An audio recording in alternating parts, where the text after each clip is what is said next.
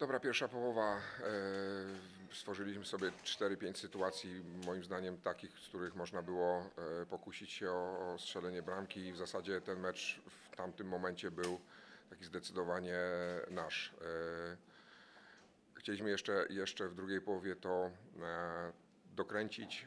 Podjęliśmy takie ryzyko, że, że, że przeszliśmy w pressingu na, na 3-4-3 i, i szliśmy bardzo wysoko i te pierwsze kilkanaście minut e, też było na tyle dobre, że, że e, w zasadzie no, powinniśmy w tamtym okresie też coś dołożyć, tak. E, Natomiast no, podejmując ryzyko, wychodząc wyżej, zostawiając e, 3 na 3 z tyłu, e, no niestety nadzialiśmy się na stratę w środku pola i, i, i- z tego padła e, piękna bramka i rzeczywiście od tamtego momentu już w zasadzie e, niespecjalnie mm, mieliśmy argumenty, bo przeciwnik bardzo dobrze stanął z tyłu i, i trudno nam było e, jakąś sytuację e, stworzyć. Także no cóż, na pewno e, fajne widowisko, bo, bo duże tempo w, i z jednej i z drugiej strony.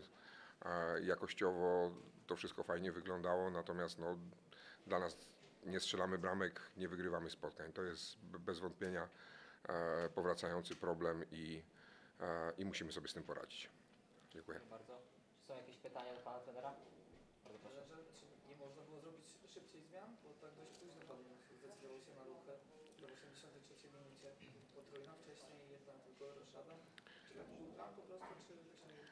Znaczy, nie, nie czułem, żeby w tamtym momencie e, trzeba było to robić, tak? To, to jakby zmieniliśmy e, już wtedy e, ustawienie na, na, na 3-4-3 i, i, i szukaliśmy tej drogi do, do strzelenia bramki w, w ten sposób, tak? E, Ta zmiana Górski i Miela, e, chcieliśmy trochę więcej szybkości e, dołożyć, tak? W tym, w tym momencie.